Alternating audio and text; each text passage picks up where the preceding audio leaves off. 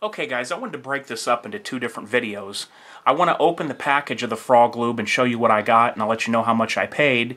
And then I'm going to do a, gun, um, a video of actually applying and how to treat a gun with the frog lube. So let's go ahead and open this and we'll take a look at what I got. There's several different ways that you can buy this, uh, several different forms that you can buy this in.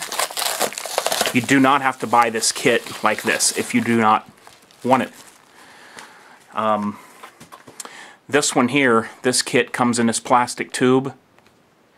So it's kind of handy, keeps everything in one place, and I thought for me that this was the easiest way to go about uh, getting this.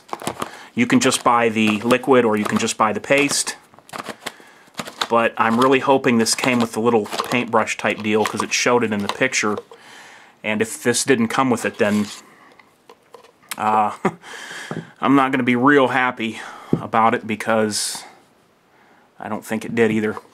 Okay, here's the paste, the frog lube paste, and one thing I wanted to do was smell this because it's supposed to smell really good.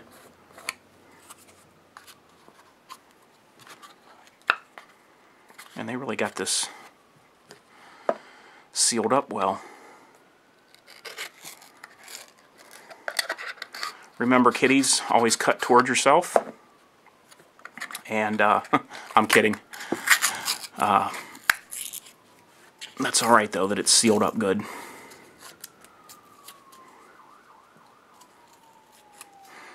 Okay, I'm to smell it. Mmm. It has like a Bengay, almost like a Bengay wintergreen type smell. Uh, in a way, it kind of reminds me of Skoal Dip the wintergreen, something like that. From my younger years when I tried uh, Skoal Dip. It's kind of what it smells like to me. So there's the paste. And now I'll get the rest of the stuff out. It did come with uh, liquid. Now, by the way, guys, this is the 4 ounce kit. There is one bigger size kit you can get. I believe it's an 8 ounce. This is the liquid. This is what I would run through the barrel in patches to clean the barrels. And uh, that's mostly what I'll use the liquid for, is inside the barrel.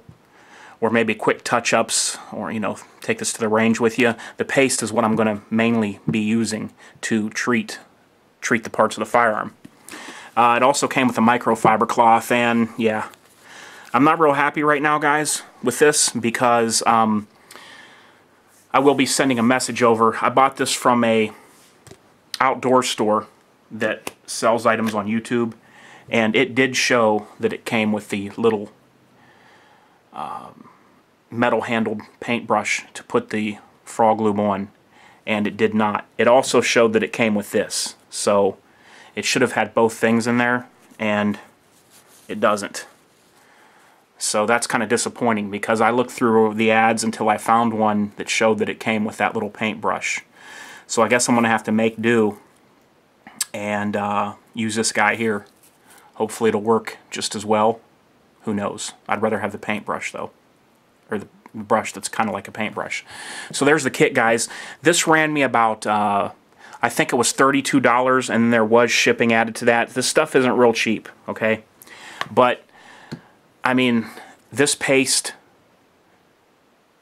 I should have no problem uh, doing every gun of mine that I want to and still having uh, a lot left over for later uses on the gun. But I'll get into more about uh, how you're supposed to treat the gun and how many times uh, as I do the firearm. The one that I'm going to be doing first here